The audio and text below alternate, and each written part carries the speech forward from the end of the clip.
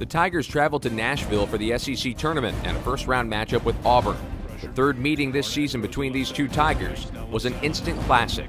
Fires it right side Barnett, right wing Puryear. Here comes a three from Catton. Made it. Missouri takes the 9 5 lead. Kevin Puryear's three capped a 9 0 Tiger run after they initially fell behind 5 0 to start the game. Mizzou kept the lead for much of the first half.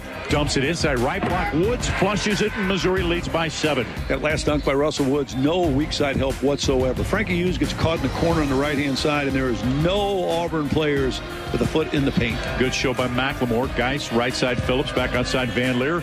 Deep three, middle of the floor, good. In a close game, Mizzou and Auburn went back and forth to start the second half. Crossover, spinning, gets to the paint and lays it up and in on a pretty spin move. Top of the key, Purifoy, three for the lead.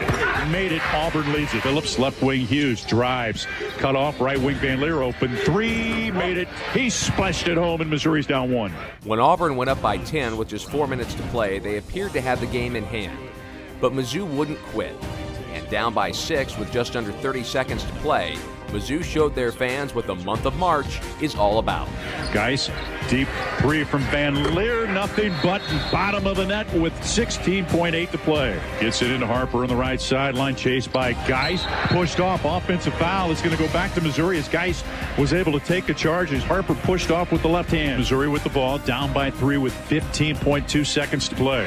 Left side of the key, right side now on the wing. VanLeer a three, missed it, rebound Puryear, four to play. Left wing Hughes at three. Made it with 1.8 to play. We're playing some more basketball. Good rebound by Kevin Puryear to keep it alive, and Frankie Hughes did the rest.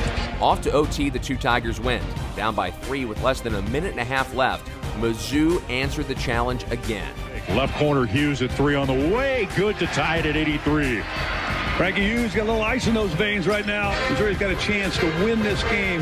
15.3 seconds with the ball. Drives it, gets cut off on the wing, four to play. VanLeer gets tied up, top to keep Puryear for the win.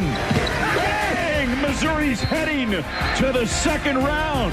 Kevin Puryear, a career high 30 points, and the game winner. I mean, we just fought so much adversity this season. It's been a long season, and, and we needed this. You know, um, guys stepped up, made big shots today. You know, I had a great, uh, a good game today, and um, you know, I'm just happy. I'm just happy